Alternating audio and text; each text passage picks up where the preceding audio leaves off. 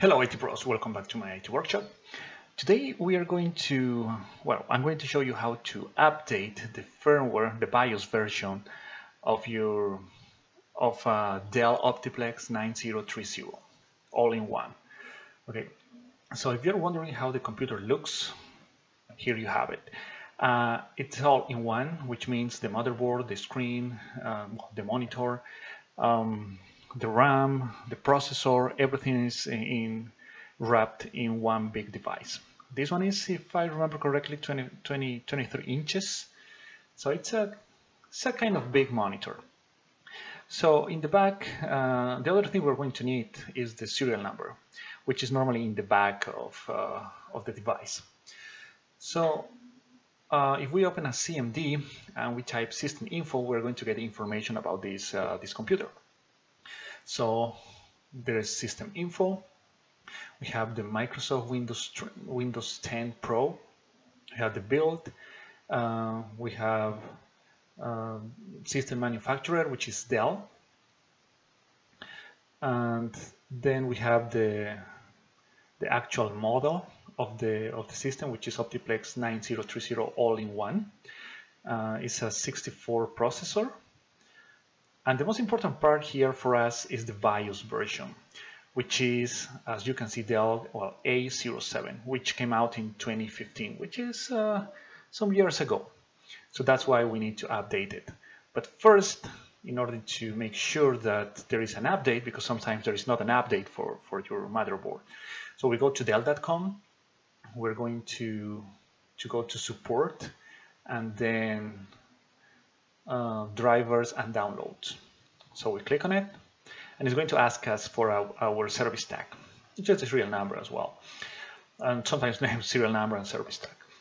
So in order to get that, as mentioned before, you can get it from the back of the device or if you open a CMD and you type the command WMIC BIOS get serial number, you're going to get a seven digit uh, code in order to point you to the right model of, uh, of this, in this case, this uh, Dell Optiplex 9030.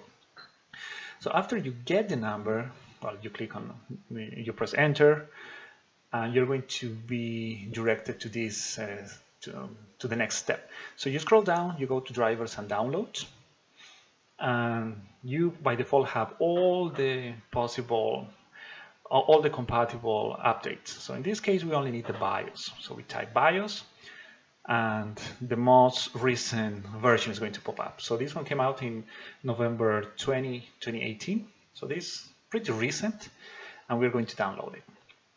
So I already have it, so I'm going to cancel it. And as you can see it, I have it right there.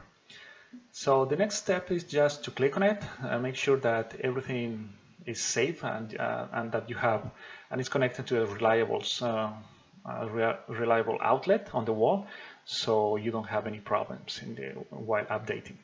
So here is some information about the update. This utility will update the BIOS version, the BIOS and firmware. During the update procedure, your system will restart.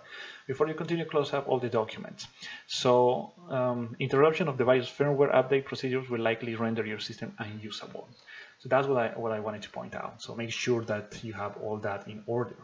So we click OK then we have this. Our actual version is A07 and the new one is A21. So it's an update. So we're going to update from A07 to A21. So we click OK again. And the process uh, is now, it's going to continue and it's going to restart our computer. That's why I changed to my cell phone. So I have accelerated the video so you don't have to wait all the, uh, all the time that it takes to restart the machine and all the process. So you can see here, updating your system firmware, do not power down your system. This process takes around um, four, three minutes an average. So again, uh, the video is um, sped up. So that's why you don't have to wait for all the process. So after the, the process is finished, uh, the computer is going to restart. But this time we're going to press F2, so we're going to go to the BIOS and we're going to see the, the version in the BIOS itself. So here the computer is restarting and I'm pressing F2. So as you can see here, we have we are in the BIOS.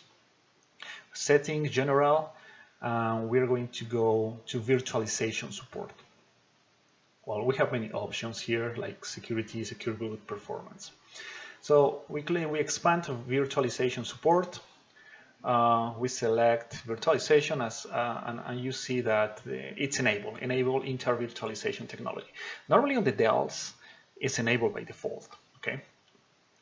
And now we go to system information. As you can see, the BIOS version is A21. So we had, uh, we, we have seen in Windows that we have A07. So the process has uh, achieved what we wanted. So now I just click exit and the system is going to restart again. So this restart took uh, a little longer than an average restart, but in the end we got it. So that's pretty much it about how to up, up, update the, the, the BIOS version for this Dell 9030 all-in-one. So that's for the video guys. Uh, if you like this video, please leave a like. If you have any question, please leave it in the comment section below. And thank you for subscribing to the channel. I'll see you in the next one.